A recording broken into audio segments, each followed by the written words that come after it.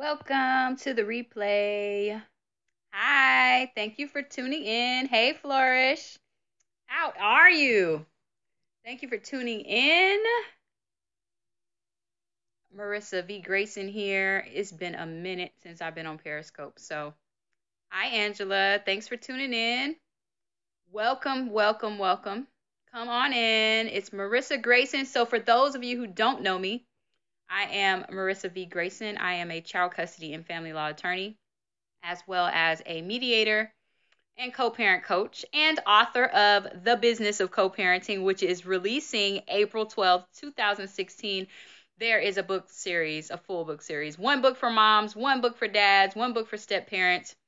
Visit bit.ly forward slash co parent business if you want more information about that. Hello, hello. So I just got home from court and um, I just decided to hop on Periscope and chat with you guys because social media is amazing, right? It can be amazing. It can be used for amazing things, but it also can be used for things that are inappropriate. and um, a lot of times we as parents or people in general get so caught up caught up in our emotions over, you know, just different things that are going on in our that's going on in our lives that we just naturally out of our natural emotions post stuff on our social media pages, right? So, you know, I might post an opinion about the way I feel about something or my position on a certain issue. And I mean, you guys know how it is with Facebook and Twitter and Instagram and all of that. So this morning, one thing that I always do is I have my team whenever I'm going against another parent in court because I'm a child custody and family law attorney.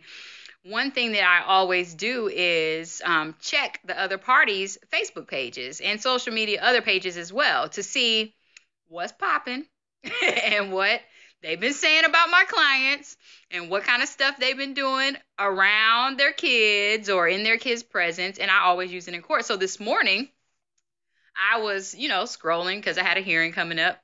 so I was scrolling through the other party's social media page. And when I tell you, I'm never surprised. I'm never surprised at the stuff that people post. It amazes me. Every time I'm like, oh, this person is not going to have anything for me to use, boop, there it is. They got something. Posting some mess on social media that doesn't have no business being there, especially when you're co parenting and supposed to be creating an environment that's conducive to living in, you know, with your children so that they can have peaceful lives and you posting all your drama on Facebook. Um, so anyway, I'm going off on a tangent. I don't have any notes today because this is literally like a last minute scope that I just decided to do. So anyways, um, so I'm looking at all this stuff that's on social media and then I see this stuff about Ciara and Future. If you guys haven't seen it already, you know, Ciara's the R&B singer Future is the rapper. They got a kid together. They don't really get along. They have issues with each other. And they both, well, more so, Future has been posting just random stuff about Ciara on social media. So it was released this morning that she has filed for defamation of character against him, a civil lawsuit. And I believe it's for like some outrageous number, like $15 million. So, um, besides the fact that just for your child's sake, you shouldn't be posting stuff on social media related to whatever's going on in your family law situation or whatever's going on, you know, in your co parent situation or your legal problems or whatever the case may be, despite the fact that your kids, depending on their age and if they have social media, um, they can see this stuff. On top of that, everybody in the world can see it. And even though, you know, with them in particular, they're celebrities, so, you know, the world already thinks that they know their lives, there's still certain stuff that you just should not be posting about. And people really never cease to amaze me because the stuff that I'm like, oh, I mean, I don't even post stuff if it's got a curse word in it. I'm like, mm, let me think about that. But these people, I mean, they just go in on each other on social media. And, you know, once that stuff is out there, it's out there and you can delete it all day long, but please believe, even when you delete it, there's a way to find it. Sorry. I have had subpoenas issued um, to get Facebook login information. I've had, you know, judges order that the other parent turn over their passwords and their social media account information depending on what's in it, especially when the parties are married. So, you know, we think that, oh, we're inboxing somebody privately and the stuff isn't going to come out.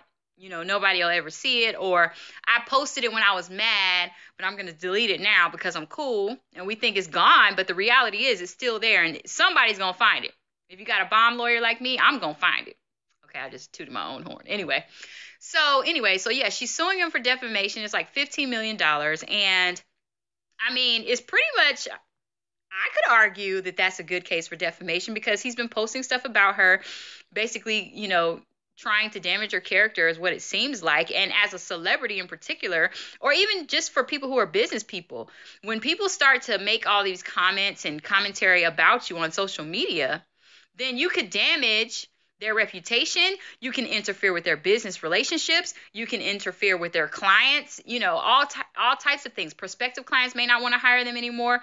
All types of things could happen, all because you decided you wanted to tweet some nonsense. so now he's at risk of having to pay $15 million or more because he was mad about whatever he was mad about, which he may have been justified for being mad about, but for you to post about it on social media in a manner, specifically when you're posting about a celebrity who, you know, the world is watching at all times and you're they're watching you and her.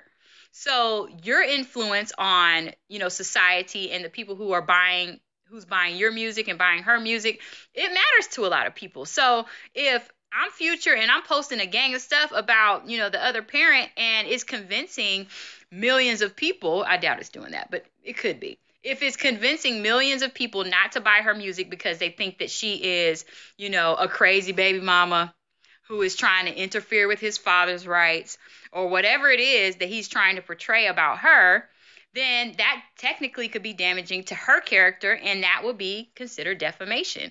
And by you doing that and interfering, especially if it's not true, then that's going to cause a lot of problems for you in the long run. And it, I mean, it doesn't even have, it doesn't always only apply to celebrities. I mean, it happens with us regular folk too. You know, if somebody posts a gang of stuff about me on social media and says, you know, X, Y, and Z about me practicing family law.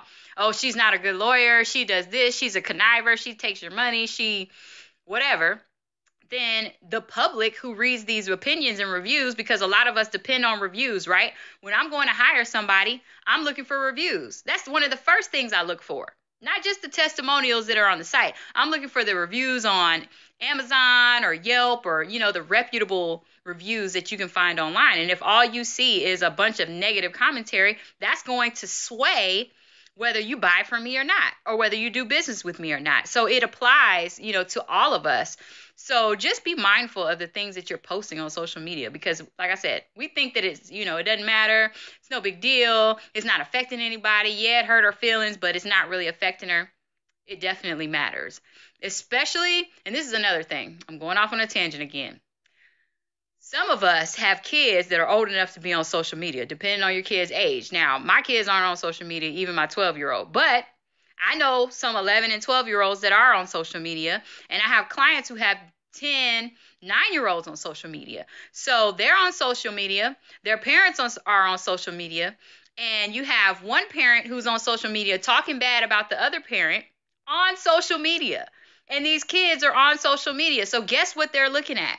Not only are they starting to see that the negativity that you're fueling into society about their other parent, but that's also showing your immaturity and your inability to have a positive relationship with their parent, which then can influence how they feel about their parent or how they feel about themselves. Because technically, if you're talking about my mama and you hate my mom and I'm half of my mom, then how do you feel about me, right?